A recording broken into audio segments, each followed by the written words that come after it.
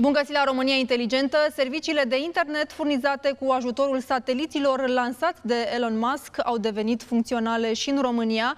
Constelația a fost activată mai repede în Europa de Est pe fondul izbucnirii războiului în Ucraina pentru a ajuta populația și autoritățile să păstreze accesul la internet în cazul în care infrastructura clasică de comunicații ar fi fost distrusă. Cât costă totuși internetul revoluționarului Musk, aflați în minutele următoare. Toată procedura se întâmplă de pe, de pe telefon, de pe o aplicație care există și pentru iOS și pentru Android.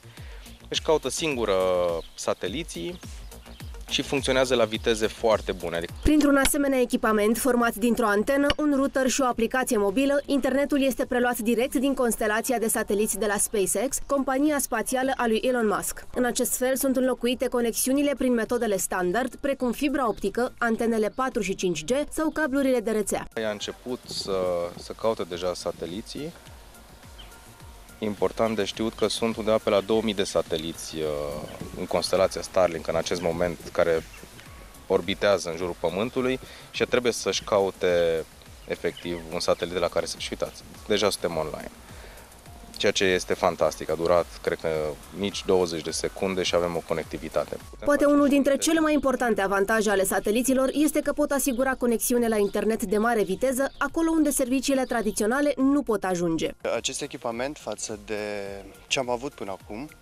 e extrem de rapid.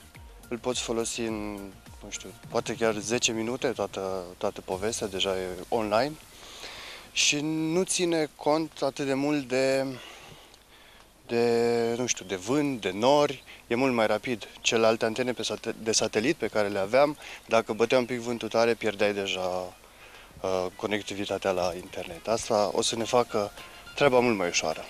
De asta puteți ajunge oriunde. Sigur, să putem ajunge, că internet vom avea peste tot. Serviciul a fost anunțat încă de anul trecut în România, iar cei interesați au avut chiar posibilitatea să placeze precomenzi. Pentru țara noastră, Starlink promite viteze de până la 250 de megabytes pe secundă. Noi folosim la, uh, în activitatea noastră profesională astfel de conexiuni. Avem uneori de lucru, uh, de lucru în zone, mă rog, off-road, în pădure, și unde nu avem alte opțiuni de, de internet, ă, așa că am zis orice, oricât ar costa, oricât ar fi, totuși trebuie să încercăm soluția asta și după aceea să ne dăm cu părerea. Echipamentul care asigură accesul la internetul prin sateliți costă 500 de euro, iar abonamentul standard lunar este de 100 de euro.